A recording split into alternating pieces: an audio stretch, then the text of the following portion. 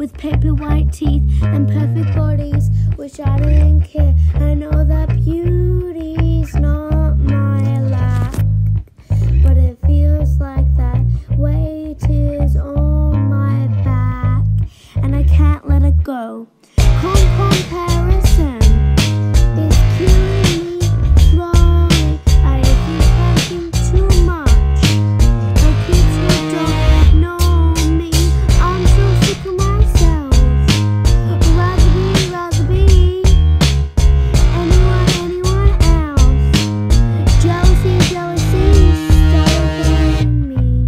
Bye.